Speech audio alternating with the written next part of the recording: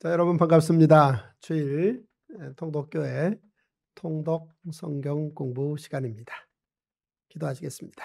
좋으신 아버지 하나님, 오늘 또 참으로 복되고 아름다운 좋은 날 주일날을 허락하셔서 우리에게 열리를 뒤로 하고 하나님 앞에 서서 예배하며 하나님 앞에 영광 돌릴 수 있는 복된 주일을 허락하심을 감사합니다.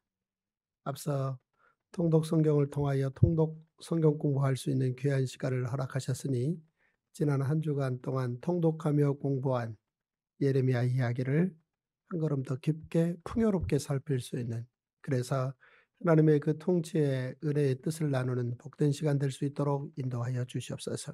존귀하신 예수님의 이름으로 감사하며 기도합나이다. 아멘.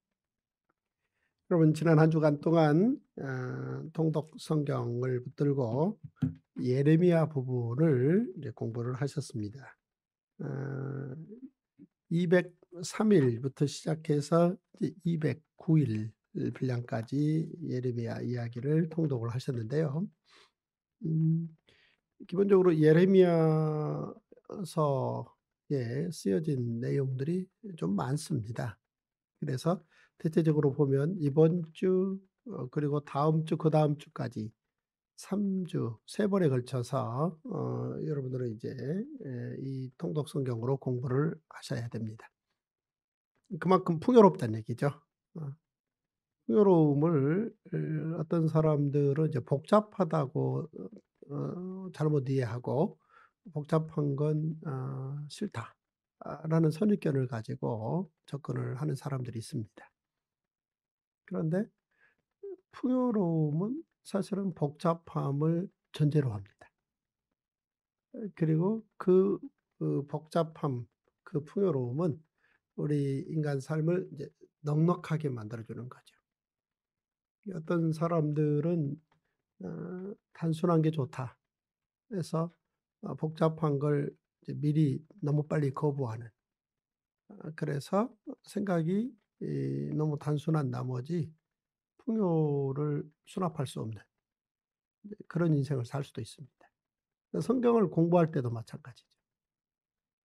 어, 그러다 보니까 이제 권별주의, 또 권별주의도 좀 어렵다 싶으면 요절주의, 요절주의도 좀 어렵다 싶으면 예화주의로 가는 거죠. 근데 우리 통독 성경은 예화주의를 넘어서 요절주의를 넘어서 권별주의를 넘어서 통독 성경 공부를 하는 겁니다. 여러분들은 이제 지난 한 주간 동안 어, 통독 성경 공부가 얼마나 아, 풍요로운지를 체험하셨을 거예요. 그리고 이제 다가오는 한 주, 그 다음 한 주도 바로 예레미야 부분 공부를 통해서 성경은 놀랍게 풍요로운 책이구나 를 이제 경험을 하시게 될 거예요. 네, 기본적으로 어 지금 예레미야서를 공부하는 가운데 열왕기 하서 부분과 뗄래야 뗄 수 없음을 여러분들이 보셨을 거예요. 그리고 이제 예레미야 부분으로 돌아왔는데 예레미야가 평생을 살면서 어 다섯 명의 왕들을 체험하면서 이야기를 풀어가는 그런 것을 여러분들이 보셨을 거예요. 그러니까 열왕기 하서 끝부분 하고 예레미야 아, 시작 부분을 묶으면 예레미야가 그 시대에 유다 나라에서만 다섯 명의 왕들을 상대했다. 라는 것을 여러분들이 이미 보셨을 거예요. 요시야, 여호아하스, 여호야 김, 여호야 긴, 시드기야. 그 내부에서만 그리고 이제 밖으로 보면 애굽의 바로 느고 왕이 등장합니다. 그런데 중요한 건 이 모든 왕들 애굽의 바로 느고 애굽 역사에서 보면은 음, 굉장히 두각을 나타내는 세계의 제 세계를 제패해서 패권자가 되고 싶은 그런 야심찬 군사 전략을 펼쳤던 왕이 바로 누구 왕입니다. 출애굽 사건 이후에 처음이라고 봐야 되겠죠. 이런 바로 누구 왕. 그 다음에 에, 성경에서 월등하게 에, 왕 이스라엘 왕으로 어, 평가를 받는 요시야. 그리고 요시야의 세 아들들과 한 손자 이 왕들.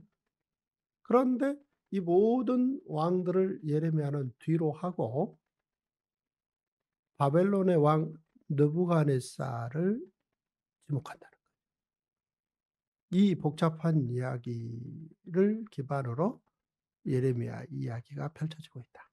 그러니 얼마나 풍요로운지 이 풍요로운 예레미야 이야기를 반드시 통독 성경 공부 방식을 취해야 이런 부분들에 대해서 놓치지 않고 다 담아낼 수 있다라는 말씀을 드립니다.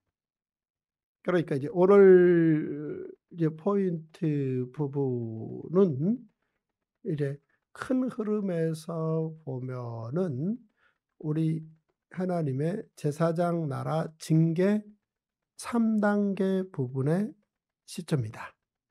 라는 이야기를 어, 이미 레위기에서 정리한 이야기를 예레미야라는 선지자를 통해서 이제 그런 부분들을 본격적으로 역사 속에 펼쳐내기 시작한다. 그 부분을 여러분들은 지난 한 주간 동안 공부하셨다. 이렇게 보시면 되겠습니다. 예, 다음 시간에는 큰 틀에서 보면은 아, 포로를 끌려가게 되는데 포로기로 접어 들어가는데 그것이 1, 2, 3단계 과정이 어땠는가? 그 다음 이제 그 다음 시간에는 결국 그래서 궁극적으로 하나님께서 통치하시고자 하는 포인트가 무엇인가? 즉 새 언약 예고인데 그 부분을 공부를 하겠고 오늘은 이제 그 전 단계로 어 초반에 예레미야가 왜 이 많은 왕들이 있는데 이 왕들을 하나님이 쓰시는 게 아니고 왜 바벨론의 느부갓네살을 내 종이라 라고 부르셨는지 하나님께서는 왜 예레미야를 통해서 그 이야기를 선언케 하셨는지 사실 가장 부담스러운 이야기입니다. 아, 가까운 권력자가 힘이 있든 없든 간에 그 권력자하고 어, 잘 지내는 게 상책이지. 멀리 있는 나라, 바벨론이라는 나라의 왕을 하나님께서 어, 종으로 부르시면서 70년을 쓰시겠다. 이 이야기를 퍼트린다라는 건 정말 쉽지 않았다는 거죠. 근데 결국 예레미야는 이 사명을 감당해 냈다. 왜? 바로 하나님께서 온 세상을 모든 민족을 제사장 나라 법으로 통치하시기 때문이다. 라는 사실입니다. 따라서 이제 이 에, 여러분들이 지난 한 주 동안 공부하신 이 예레미야 이 초반 부분의 시작점은 어디냐면 레위기 26장이라고 보셔야 되겠습니다. 그러면 예레미야와 아, 레위기와의 즉 모세 때와의 관계는 대략 몇 년이냐? 한 800년 정도 차이가 난다고 보시면 되겠습니다. 네, 그긴 시간 이전에 하나님께서는 어, 출애굽한 이스라엘 백성들을 데리고 광야 생활을 실행시켜 가시는 가운데 에, 그 기초 위에 바로 가나안 시대가 열린다. 그 다음 이제 가나안 시대가 어느 정도 어, 어, 중간에 잘리고 포로 시대가 열린다. 그 다음 이제 포로 시대가 끝나고 다시 가나안 시대가 열린다. 그런 절차를 밟아서 구주 예수 그리스도 시대가 열린다. 이런 큰 밑그림을 모세를 통해서 이미 그러셨다라는 얘기죠. 따라서 이제 레위기 이야기로 먼저 가보면 하나님께서는 모세를 통해서 이 제사장 나라 아, 경영으로 들어갔을 때 복을 주시는 두 가지 이야기와 징계를 주시는 세 가지 이야기를 레위기에서 크게 정리를 해 놓으셨다는 거죠. 제사장 나라에서 복을 주신다는 얘기는 아, 조건이 있죠. 그 조건은 어, 바로 어, 우리 하나님께서 모세를 통해서 주신 법 그러니까 다섯 가지 제사법 그 다음에 안식일 안식년 희년 절기법 유월절 오순절 초막절 명절법 그러니까 이런 법들을 비롯해서 하나님께서 이미 허락하신 그런 여러 법들을 잘 지키면 그 조건으로 이제 두 가지. 그러니까 첫째는 늘 매년 경제적인 풍요가 넉넉할 것이다. 라고 약속을 해 주셨다는 거죠. 뿐만 아니라 주변 나라들이 이 아브라함의 후손 그 이스라엘 나라를 괴롭히지 못할 것이다. 이 두 가지 약속을 복으로 주셨다는 거죠. 이게 이제 복입니다. 이게 복. 음. 사실 우리가 인과율만 따지면은 농사를 열심히 지어서 거기에서 어, 얻어낸다. 라는 게 어떤 성과고, 그 다음 국방력을 더 튼튼히 해서 어, 이 나라 경계를 적군이 넘지 못하게 한다. 이게 사실은 성과잖아요. 그런데 이런 열심히 해서 열심히 농사지어서 수확량을 많이 거둔다. 또 국방력을 충분히 튼튼하게 대비해서 주변의 여러 나라들의 이 침략을 미리 방어한다. 이런 성과 차원의 이 이야기를 하나님의 복이라고 말하지 않습니다. 복은 사실 큰 틀에서 보면은 이제 사실은 농사 일에 그렇게까지 허리 부러져라 일하지 않았는데도 어? 뭐 성과는 많이 나오는. 국방력에 그렇게 허리를 휠 만큼 어, 수확을 얻은 걸 가지고 군사력에 다 집중하지 않았는데도 오, 나라 경계를 지킬 수 있는 이게 복이라는 거죠. 하나님께서 돌보시면 그게 가능하다라는 약속을 주셨고 또 하나 큰 흐름에서 보면은 이제 에, 지금 앞서 말씀드린 그 다섯 가지 제사법, 번제, 소제, 화목제, 숙제제, 속건제죠. 그다음에 안식일, 안식년, 희년이죠. 유월절, 오순절, 초막절이죠. 네, 이런 법들을 잘 지키지 않으면 하나님께서 징계를 하시겠다. 처벌하시겠다라는 얘기죠. 근데 그 징계를 어떻게 하시는 건 징계도 계획적으로 하시는데 첫 번째 단계는 흉년을 주시겠다는 거예요. 그러니까 수고하고 애썼다는 거죠. 그런데 수출을 거둬봤더니 그 해에 그 모든 국민들이 먹고 살 만큼의 농작물이 생산되지 않았다. 노력을 소홀히 했다는 게 아닙니다. 아무리 노력해도 얻은 소출이 먹고 살 만큼에 못 미쳤다. 이게 흉년입니다. 자, 이 흉년을 경험하면서 하나님의 법을 잘 지켜야 되겠다라고 돌아서지 않으면 그때 이제 두 번째 단계의 처벌을 하시겠다.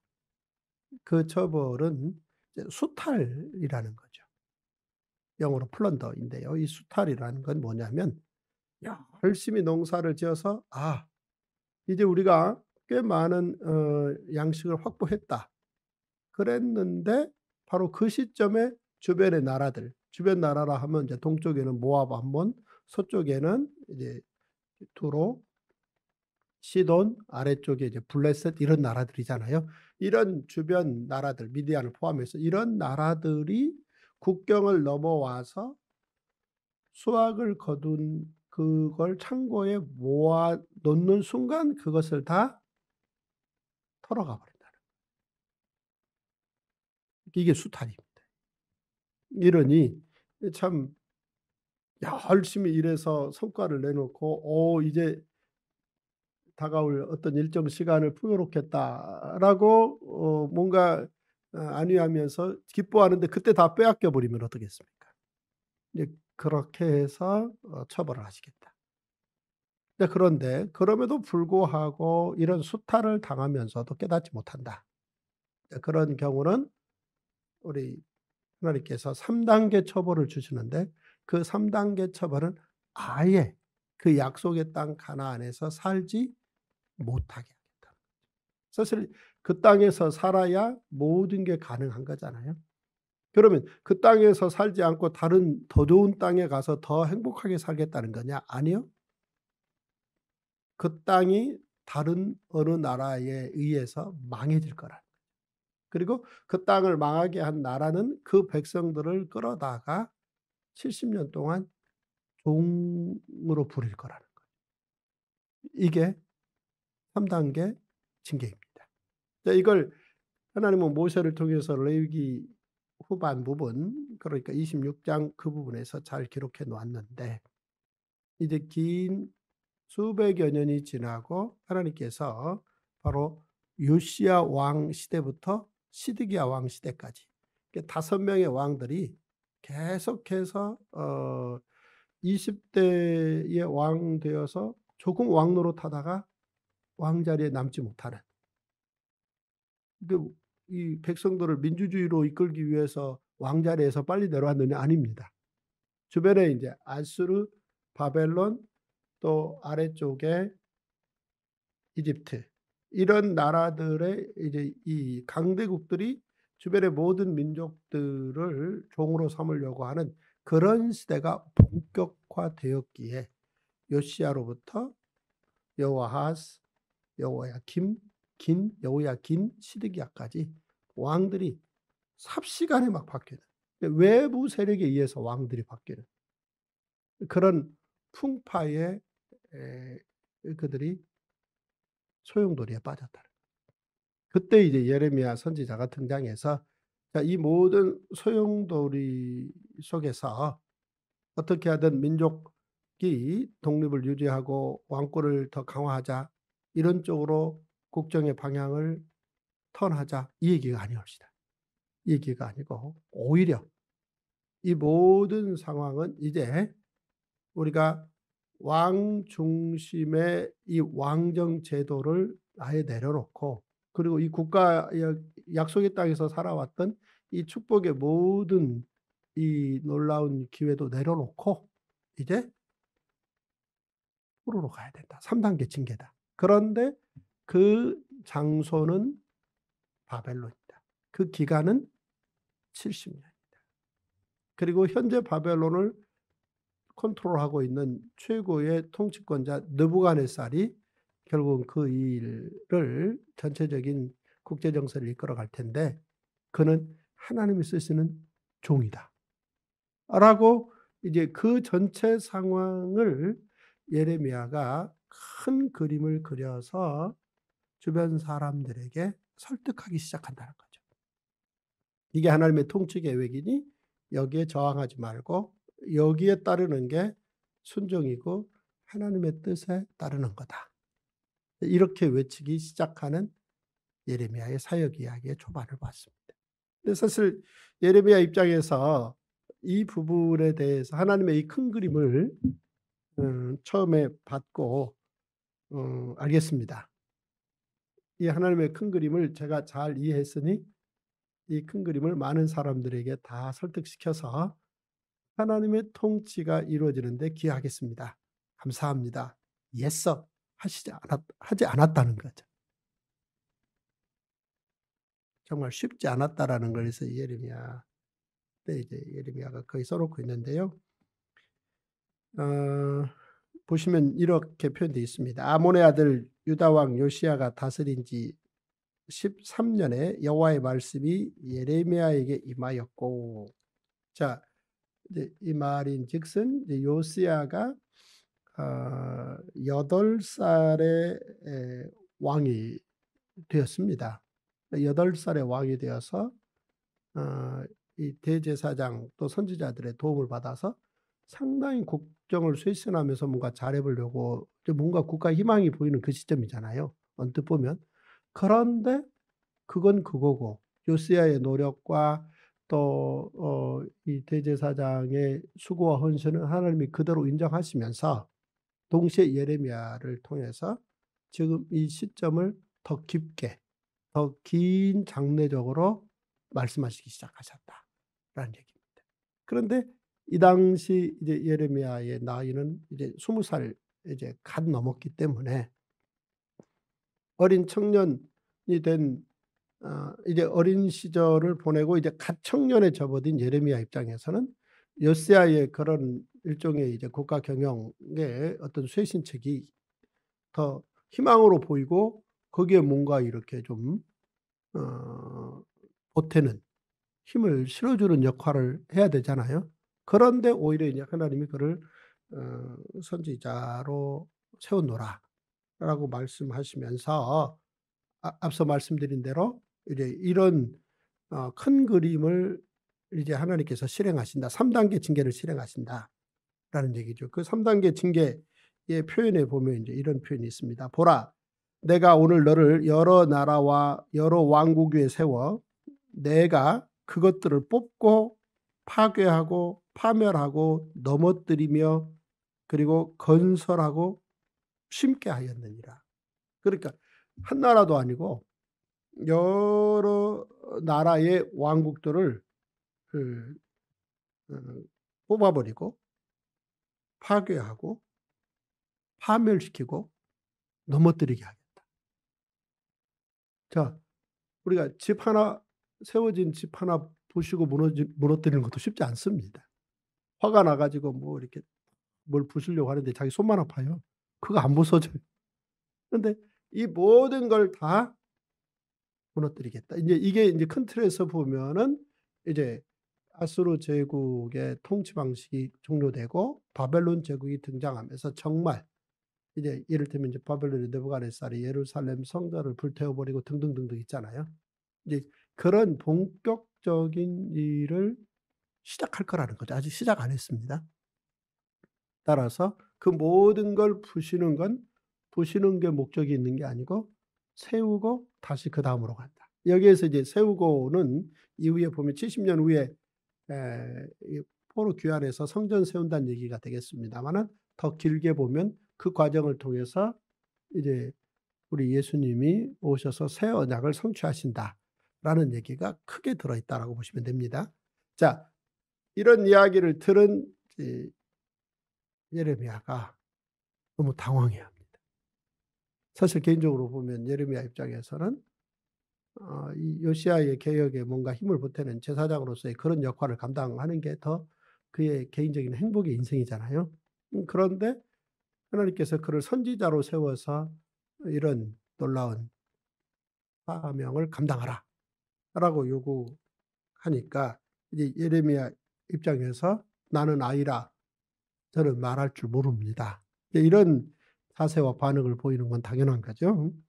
그런데 이제 하나님께서는 예레미야에게 이렇게 말씀하십니다. "여호와의 말씀이 내게 임하니라 이르시되 내가 너를 모태에 짓기 전에 너를 알았고 내가 배에서 나오기 전에 너를 성별하였고 너를 여러 나라의 선지자로 세웠노라. 내가 이르되 슬프도소이다. 주 여호와여 보소서 나는 아이라 말할 줄을 알지 못하나이다. 여호와께서 내게 이르시되 너는 아이라 말하지 말고 내가 너를 누구에게 보내든지 그러니까 어 이를테면 이제 뭐 여호아하스, 여호야김, 긴시드기야 어 혹은 또 그 험악하기 짝이 없는 세계적인 그 폭군 느부갓네살 이런 누구에게 보내든 너는 가서 상대해서 말을 하라는 거예요. 즉 겉에 드러난 표면적인 게 전부가 아니고 이 모든 걸 묶으면 하나님의 통치가 진행된다라는 것을 이제 말하라는 것입니다. 여호와께서 내게 이르시되 너는 아이라 말하지 말고 내가 너를 누구에게 보내든지 너는 가며 내가 내게 무엇을 명령하든지 너는 말할지니라. 너는 그들 때문에 두려워하지 말라. 내가 너와 함께하여 너를 구원하리라. 자, 이 말을 너는 그들 때문에 두려워하지 말라 라는 표현은 정확하게 말하면 한 사람 한 사람이 다 예레미야 입장에서는 두려운 상태였다는 거죠. 우리가 살면서 혹 두려운 상대를 만났을 때 이제 예레미야를 한번 생각해 보기도 하죠. 두려우면 비겁해지고 비겁해지면 포기하고 물러서 버리는 거. 그런데 그 어린 이제 예레미야에게 그렇게 말하는 거죠. 두려워하지 말라. 내가 너와 함께한다. 그래서 이제 이 하나님의 이 약속, 이 약속을 이제 붙들고 어, 예레미야가 본격적인 사역을 이제 진행해 간다라는 초반 부분을 여러분들은 지난 한 주 동안 공부하셨고 이제 그 중반 부분을 다가오는 한 주 동안 또 공부하실 것입니다. 참으로 놀라운 하나님의 이 통치 이야기를 여러분들은 예레미야 선지자를 통해서 공부하시는 중에 있습니다. 아주 깊고 또 넓고 위대하신 하나님의 그 통치 앞에 우리는 감사하며 그 하나님의 통치가 그 시대뿐만 아니라 오늘 이 시대에도 진행되고 있음을 감격하지 아니할 수 없습니다. 할렐루야.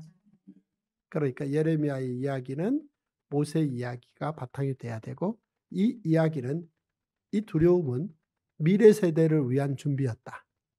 라는 측면에서 통독성경 공부를 통해서 크게 공부하시면서 오늘 우리 이 시대에 우리의 삶의 자리를 민감하게 들여다보며 하나님 앞에 헌신과 충성할 수 있는 사명자로서의 삶의 기회로 삼을 수 있는 그런 놀라운 성경 공부, 통독 공부 시간이 되실 수 있기를 주의 이름으로 축원합니다.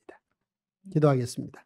좋으신 아버지 하나님, 하나님의 사람 모세를 통하여 하나님께서 창조 이래 인간들의 삶을 주관하시며 통치하시며 위대하신 하나님의 사랑 이야기를 써 가신다라는 사실을 모세 오경을 통해서 기록해 하시고 그 기반을 가지고 수백 년 후 예레미야가 또 그 시대의 삶의 이야기를 기록으로 남겨 예레미야와 예레미야 애가서를 남겨. 그리고 그 시대의 기록을 남긴 모든 이야기들과 묶어서 우리 주님의 오심의 새 언약을 예고케 하는 이야기를 공부케 하시며 결국 구약을 다 공부한 후 신약에 들어와서 우리 주님의 이 공생의 기간 마지막에 새 언약을 창조하심으로 우리를 하나님을 아버지라 부르며 하나님 나라를 살아갈 수 있는 복된 놀라운 복음을 허락하셨음을 새삼 통독 성경 공부를 통하여 다시 깨닫고 기뻐하게 하심을 감사합니다. 오늘 또 이 기쁨과 감격으로 교회를 섬기며 사랑하며 하나님 앞에 헌신할 수 있는 놀라운 통독교회 모든 성도들이 다 될 수 있도록 축복하여 주시옵소서. 예수님의 이름으로 감사하며 기도합나이다. 아멘. 자, 여러분 감사합니다.